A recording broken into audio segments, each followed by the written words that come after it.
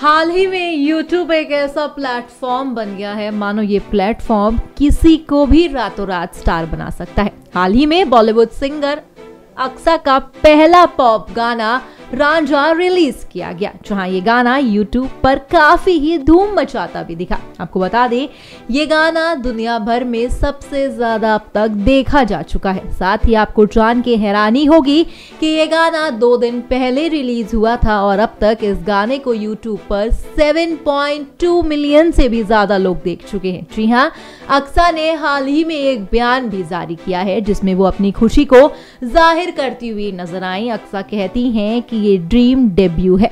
मैंने उन सभी को धन्यवाद मैं कहना चाहती हूँ जिन्होंने गाना सुना और इसे संभव किया।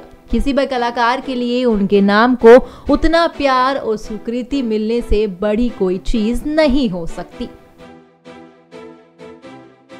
नेक्स्ट नाइन न्यूज़ रूम की रिपोर्ट